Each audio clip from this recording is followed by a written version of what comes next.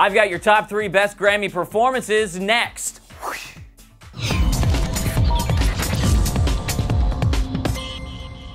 Hello, music lovers. I'm Brian Corsetti for Clevver Music. There were a lot of amazing performances at the Grammys, and it was extremely hard to narrow it down to my top three. So, here we go.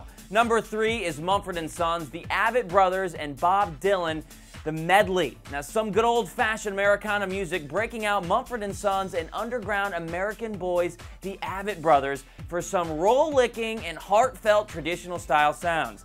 The best part was when Dylan came out performing Maggie's Farm. It was a great performance, and it will definitely go down in history. Number two, CeeLo Green, the song otherwise known as Forget You.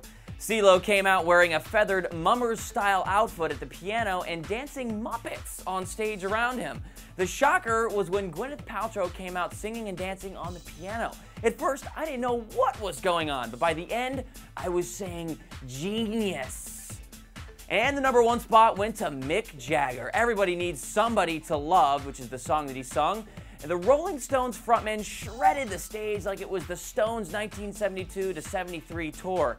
He rocked a sharp green jacket and directed the band like he'd known them forever. Mick Jagger is clearly an old pro, showing everyone how it's really done. Now, those are my picks, but what are yours? Let us know in the comment section below. I'm Brian Corsetti for Clevver Music, and I'll see you next time.